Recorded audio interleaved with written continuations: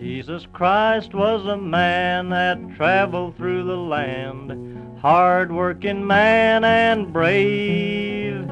He said to the rich, give your goods to the poor, so they laid Jesus Christ in his grave.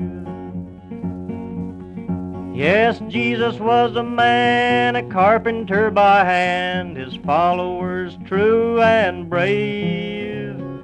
One dirty coward called Judas Iscariot has laid poor Jesus in his grave.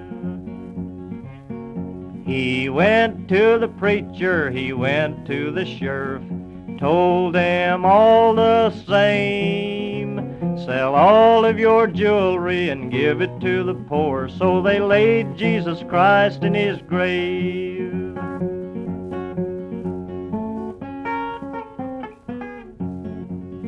When Jesus come to town, the working folks around believed what he did say. The bankers and the preachers, they nailed him on a cross and they laid Jesus Christ in his grave.